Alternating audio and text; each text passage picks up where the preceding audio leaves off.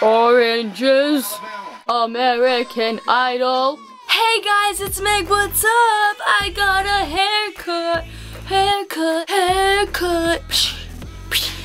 Flip that hair, that's sad.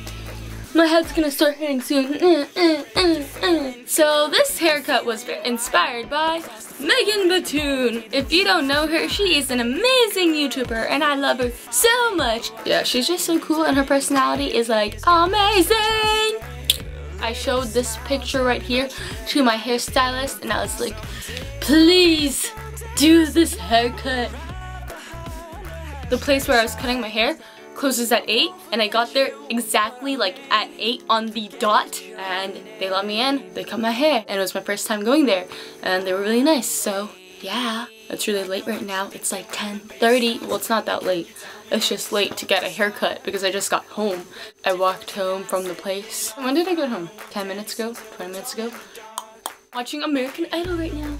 I really like Jena and Alex. I actually like everybody. Harry Connick Jr. I like him as an idol. I like him as an idol. I like him as a judge. I think Caleb is gonna win, even though he's not my favorite. I think he's gonna win because he like he has that winning vibe to him. I just hope he wins actually. I feel like he's gonna win. I feel like he deserves to win. I feel like he's really good and I feel like he should win even though he's not my favorite.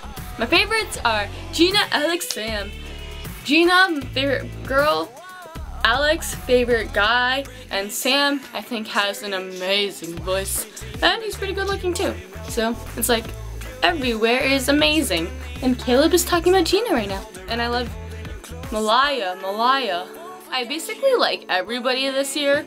American Idol is like amazing this year and I kind of wanted to make a video about American Idol like in the beginning when it was like all of the people and I could tell you who I liked, not like who's left, because basically who's left is who I liked from the beginning, but it doesn't really prove anything. I just want to show you that I was right. I don't know. I don't know. I don't know. I don't know what I'm saying anymore. But I got my haircut, Megan Batoon inspired bit, inspired uh, filming videos with Mo today, and it was fun. And I'm drinking a Crushers right now.